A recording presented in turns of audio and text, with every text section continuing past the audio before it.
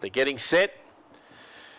Starting signal has been given. They're all in and the green light's on. Favourite, $1.12. Black Compass from the red box. They're ready, set.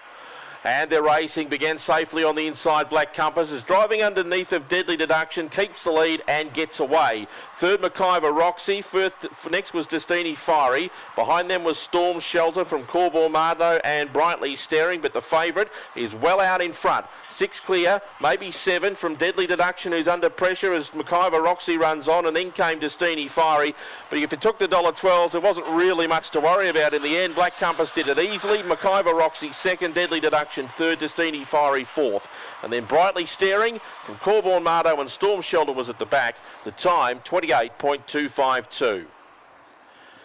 $1.12 and it pays $1.40 on the tote and does it very comfortably indeed. McIver Roxy runs a good race into second at a good quote, and three runs third deadly deduction. It's one, two, three, and six. Six and three quarter lengths the winning margin. Six and three quarters by three and three quarters. One, two, three, and six, the numbers on race number four. 658, 1531, 1294, a run home of 20, of uh, an overall run of 28.252. Six and three quarters by three and three quarters are the margins on race number four. Black Compass by My Redeemer, shout out loud.